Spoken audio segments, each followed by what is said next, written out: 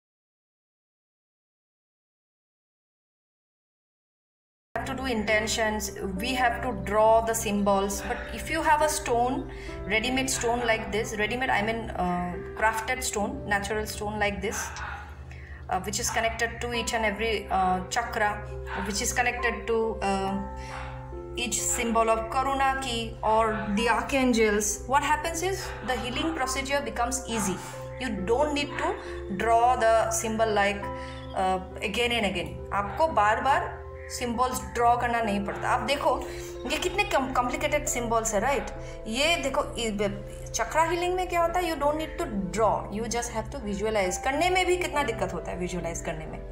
तो ये रहता है तो ईजी रहता है। एंड करुणा की में देखो, कितने कॉम्प्लिकेटेड सिम्बॉल्स है। मेरे तो हाथ ऐसे ऐसे कांपते हैं नॉर्मल रेकी सिम्बॉल्स में ही तो मेरे लिए ये बहुत उपयोगी रहेगा।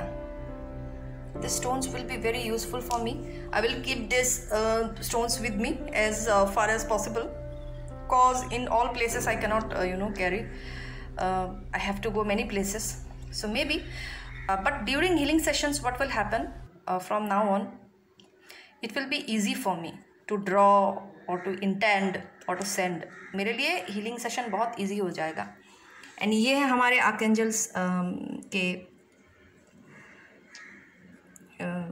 स्टोन्स ये ब्लैक एगेट में है। इनके बारे में अभी मैं दूसरा वीडियो बनाऊँगी। अभी मैंने फ़िलहाल करोना की सिंबल्स एंड चक्रा हीलिंग के ऊपर ये जो स्टोन्स है इनके बारे में बनाया। ये अगर आपको स्टोन्स चाहिए इंडिया में बहुत सस्ते रेट्स में आपको मिल सक मिल सकता है। मैं तो फ्रीली ही आ, उनका पब्लिक मतलब एडवर्टीजिंग कर रही हूँ अभी। तो आप लोग कॉन्टेक्ट कर सक बहुत ही बहुत ही कम इसमें आपको मिल जाएगा। बहुत ही सुंदर है, देखिए। देखने से ही प्यारा लग रहा है एकदम। एनर्जाइज्ड हो गया पूरा मतलब जगह जो है।